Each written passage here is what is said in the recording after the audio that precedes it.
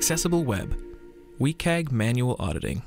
Success Criterion 3.2.1 On Focus. In this video, we'll show you how to ensure that simply moving focus to a UI component does not cause unexpected changes of context. Let's jump in.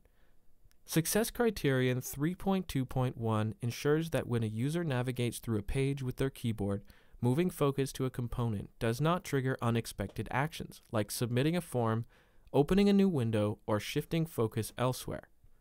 To test for focus-triggered changes of context, navigate through the page using only your keyboard, using Tab to move forward and Shift-Tab to move backwards.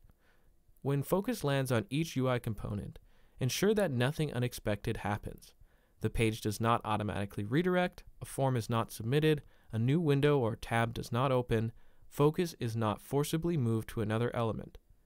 If focusing on any component causes a change of context without user activation, add a failure in RAMP. And that completes the audit for Success Criterion 3.2.1 on focus. Preventing unexpected changes on focus maintains user control and builds trust in your interface. Now it's your turn. Test your site with RAMP's Audit Grid. Try it free for 14 days using the link in the description.